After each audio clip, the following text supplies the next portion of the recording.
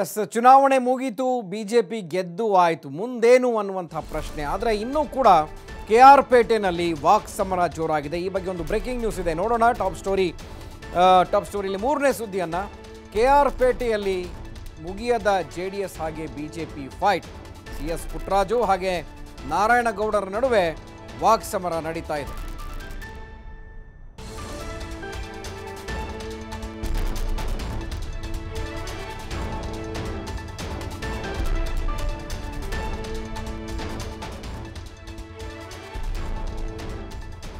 S K R ಪೇಟೆ ಈ ಬಾರಿ ಅತ್ಯಂತ ಜಿದ್ದಾಜಿದ್ದಿನ ಕಣವಾಗಿತ್ತು. ಮಂಡ್ಯದಲ್ಲಿ ಜೆ ಡಿ ಎಸ್ಗೆ ಪ್ರತಿಷ್ಠೆಯ ಕಣ ಆಗಿತ್ತು. ಆದರೆ ಅದನ್ನು ಮೊದಲನೇ ಬಾರಿಗೆ ಛಿದ್ರ ಮಾಡಿ ಬಿ ಜೆ ಪಿ ಅಲ್ಲಿ ಗೆದ್ದು ಬೀಗಿದೆ. ಈ ಹಿಂದೆ ಜೆ ಡಿ ಎಸ್ನಿಂದನೇ ಗೆದ್ದಿದ್ದಂತಹ ಅಭ್ಯರ್ಥಿ Narayanagowda B J P B J ಪಿಯಿಂದ ಈ ಬಾರಿ ಕಣಕ್ಕಿಳಿದಿದ್ರು ಸೊ ಒಂದು ಕಡೆ ನಮ್ಮ ಕ್ಷೇತ್ರ ಕೈಬಿಟ್ಟು ಹೋಯ್ತಲ್ಲ ಅನ್ನುವಂತಹ ಸಿಟ್ಟು ಜೆ ಡಿ ಎಸ್ಗೆ ಅಫ್ಕೋರ್ಸ್ ಇದ್ದೇ ಇದೆ. ಗೆದ್ದು ಬೀಗಿದ್ದೀನಿ ಅಂತ ಈಗ ಬಿ ಜೆ ಪಿಯಿಂದ ನಾರಾಯಣಗೌಡ ಅವರು ಕೂಡ ಮಾತನಾಡ್ತಾ ಇದ್ದಾರೆ. ಹಾಗಿದ್ಮೇಲೆ ಪುಟ್ರಾಜು ಮತ್ತು ನಾರಾಯಣಗೌಡ ಇಬ್ಬರು ಟಾಕ್ ವಾರನ್ನು ಮಾಡಿದ್ದಾರೆ. ಸೊ ಈ ಕುರಿತಂತಹ ಒಂದು ವರದಿ ಇದೆ. ಬನ್ನಿ ನೋಡೋಣ.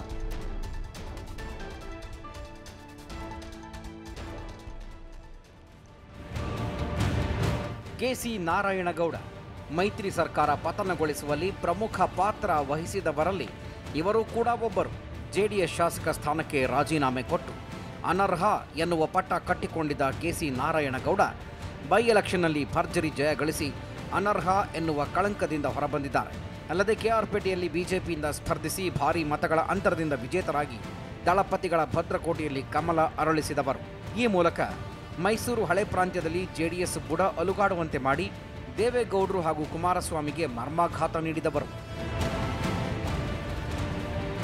ಆದರೆ ಇದೀಗ ಹೊಸ ವಿಷಯ ಏನಂದ್ರೆ ಮಂಡ್ಯದ ಪ್ರಮುಖ ಜೆಡಿಎಸ್ ನಾಯಕರಾದ ಮಾಜಿ ಸಚಿವ ಸಿ ಎಸ್ ಪುಟ್ಟರಾಜು, ಶಾಸಕರಾದ ಸುರೇಶ್ ಗೌಡ, ಅನ್ನದಾನಿ ಹಾಗೂ ಕಾಂಗ್ರೆಸ್ಸಿನ ಚೆಲುವರಾಯಸ್ವಾಮಿ ನರೇಂದ್ರ ಸ್ವಾಮಿ ನಡುವೆ ನಡೆಯುತ್ತಿದ್ದ ವಾಕ್ ಸಮರ ಇದೀಗ ದಿಢೀರನೆ ಬಿಜೆಪಿ ಕಡೆಗೆ ಶಿಫ್ಟ್ ಆಗಿದೆ.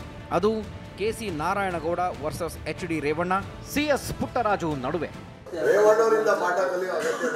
ದೇವೇಗೌಡರ ಕುಟುಂಬಕ್ಕೆ ಈ ರಾಜ್ಯದಲ್ಲಿ ಎಚ್ಚರಿಕೆ ಕೊಟ್ಟಂತ ಬಹಳ ಜನ ಮಣ್ಣಾಗೋಗಿದ್ದಾರೆ. ಗುಂಡಾಟ ಹೊಡೆದಾಟ ಮಚ್ಚು ಕೊಡ್ಲಿ ಮನೇಲಿ ಅವ್ರ ಮನೇಲಿ ಇಟ್ಕೊಬಿಟ್ರು. ನಾರಾಯಣಗೌಡರು ಮೇಲಕ್ಕೆ ನೋಡಿ ಉಗುಳು ಉಗಿದ್ರೆ ಅವ್ರ ಮುಖಕ್ಕೆ ಬೀಳುತ್ತೆ.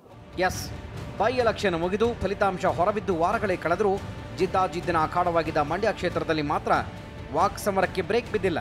ಇವತ್ತು ಇಬ್ಬರು ನಾಯಕರು ತಮ್ಮ ಮನಸ್ಸಿನಲ್ಲಿ ಇಷ್ಟು ದಿನ ಹುದುಗಿಟ್ಟುಕೊಂಡಿದ್ದ ಆಕ್ರೋಶದ ಜ್ವಾಲೆಯನ್ನ ಮೀಡಿಯಾ ಮುಖಾಂತರ ಸಾರ್ವಜನಿಕರ ಮುಂದೆ ಸ್ಫೋಟಿಸಿದರು. ಇಬ್ಬರು ನಾಯಕರು ಬೆಂಕಿಯುಂಡೆ ಉಗುಳಿದರು. ಎಚ್ ಡಿ ರೇವಣ್ಣಗೆ ಬಾಂಬೆ ತೋರಿಸಿದ್ದು ನಾನೇ. ಇನ್ನಾದರೂ ಹೊಡೆದಾಟ, ಬಡಿದಾಟ ಬಿಟ್ಟುಬಿಡಿ. ದೇವೇಗೌಡರ ಕುಟುಂಬಕ್ಕೆ ನಾರಾಯಣಗೌಡ ವಾರ್ನಿಂಗ್.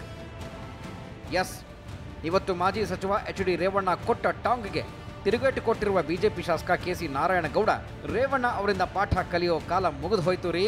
ಮಚ್ಚು, ಕೊಡಲಿ, ಹೊಡೆದಾಟ, ಬಡದಾಟ ಬಿಟ್ಟುಬಿಡಿ ಅಂತ ಎಚ್ ಡಿ ರೇವಣ್ಣಗೆ ವಾರ್ನಿಂಗ್ ನೀಡಿದ್ರು.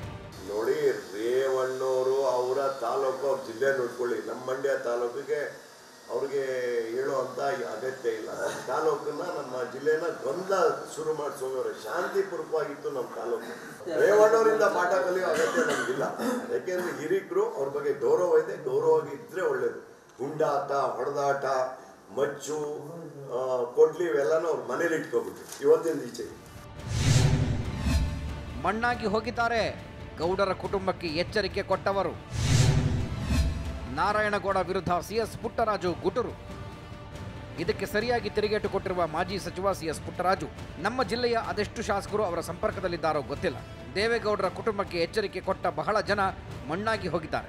ದೇವೇಗೌಡರ ಕುಟುಂಬಕ್ಕೆ ಎಚ್ಚರಿಕೆ ಕೊಟ್ಟರೆ ಆಕಾಶಕ್ಕೆ ಉಗುಳಿದಂತೆ ಅಂತ ಕಿಡಿಕಾರಿದ್ರು ನನಗೆ ತಿಳಿದ ಹಾಗೆ ಯಾವ ಶಾಸಕರು ಬಿಜೆಪಿಯವ್ರ ಸಂಪರ್ಕದಲ್ಲಿ ಇಲ್ಲ ಅಂತ ತಿಳ್ಕೊಂಡಿದ್ದೇನೆ.